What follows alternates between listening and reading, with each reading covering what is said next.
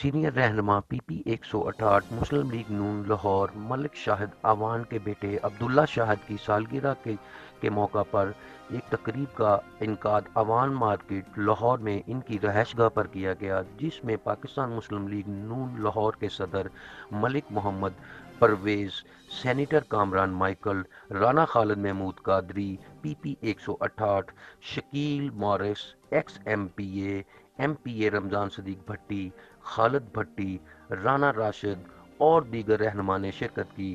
तकरीब के आखिर में अब्दुल्ला शाहिद की सालगिरह का केक भी काटा गया। मोहम्मद अफजल 27 न्यूज़, लाहौर।